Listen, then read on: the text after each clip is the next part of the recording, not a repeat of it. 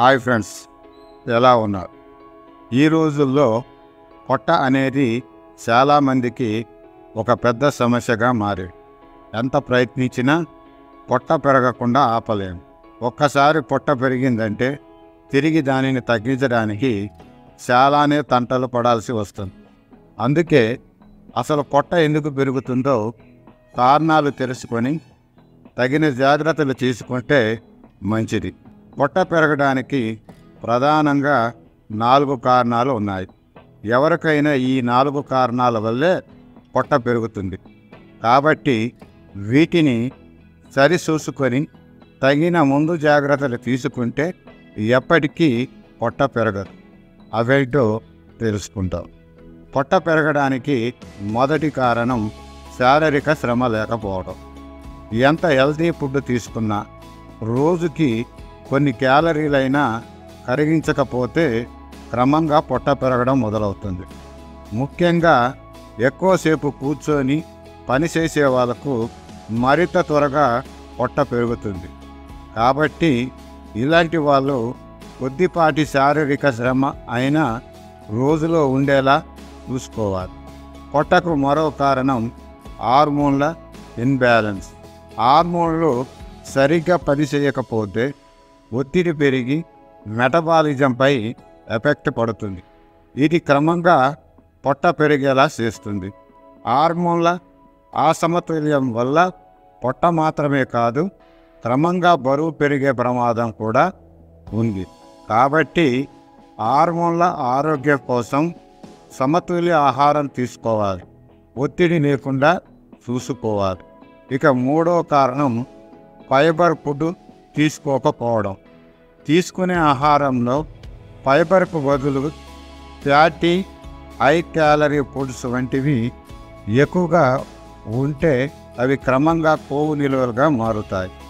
కాబట్టి పొట్ట రాకుండా ఉండాలనుకునే వాళ్ళు షుగరు జంక్ ఫుడ్స్ని తగ్గించాలి. రోజువారీ డైటీలో ఫైబర్ ఉండేలా చూసుకోవాలి. ఇకపోతే కొంతమందికి జీర్ణ సమస్యల వల్ల కూడా పొట్ట వస్తుంది.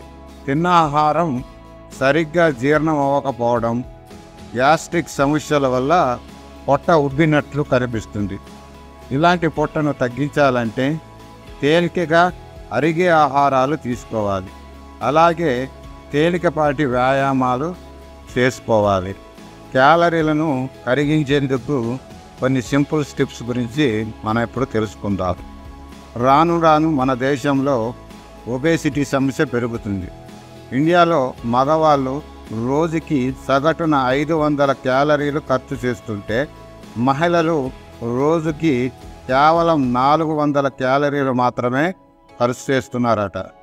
ఇలా శారీరక శ్రమ తక్కువగా ఉండటం చేత ఒబేసిటీ సమస్యలు పెరుగుతున్నాయని అందుకే క్యాలరీలు కరిగించేందుకు ఎలాంటి టెక్నిక్స్ ఫాలో అవ్వాలో ఇప్పుడు మనం తెలుసుకుందాం.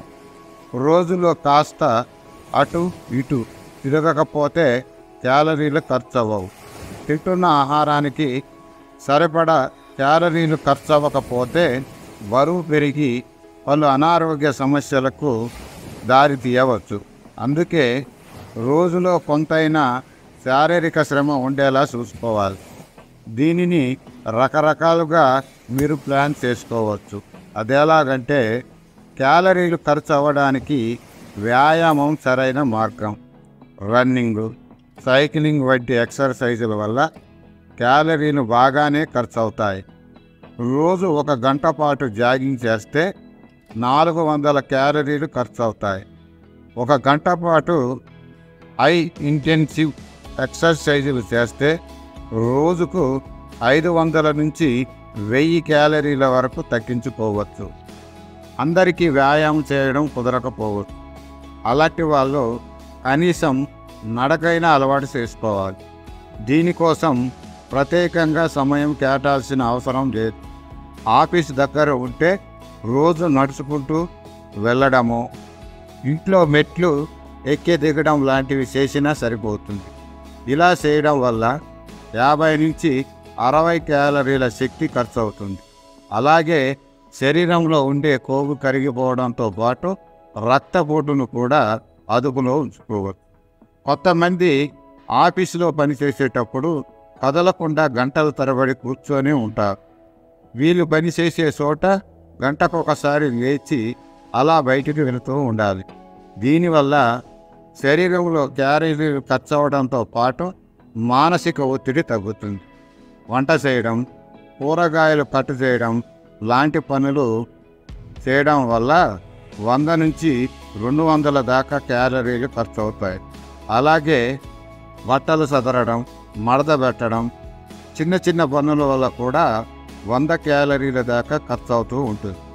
ఐదు నిమిషాలు బిగ్గరగా నవ్వడం వల్ల కూడా మన శరీరంలో దాదాపు నలభై క్యాలరీలు ఖర్చు అవుతాయి మీ ఇంట్లో పెంపుడు జంతువులు ఉంటే వాటిని బయటికి తీసుకెళ్ళడం ద్వారా సులభంగా గంటకు రెండు వందల క్యాలరీలు కలిగించవచ్చు. ఇకపోతే ఫిజికల్ యాక్టివిటీతో పాటు తగిన ఆహార నియమాలు కూడా పాటించాలి. తక్కువ పని చేసే వాళ్ళు క్యాలరీలు మితంగా తీసుకోవాలి. ఆహారంలో జంక్ ఫుడ్ లేకుండా ఫైబర్ ఉండేలా చూసుకోవాలి. ఆకలిగా అనిపిస్తున్నప్పుడు ఫ్రూట్స్ నట్స్ లాంటివి తీసుకోవాలి.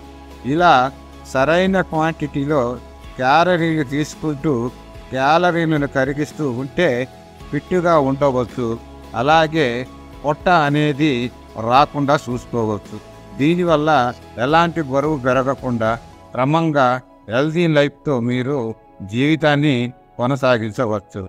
ఈ వీడియో మీకు ఎలా అనిపించిందో కామెంట్ ద్వారా తెలియజేయండి.